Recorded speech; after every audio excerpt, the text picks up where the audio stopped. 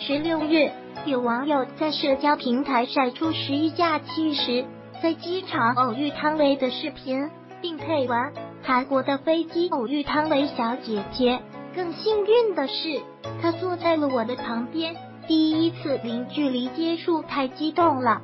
从图中可以看到，当天汤唯把头发简单扎起，戴着口罩，穿着 T 恤搭配黑色裤子，非常的低调，身边也并没有一个助理什么的，一个人提着重重的行李赶飞机。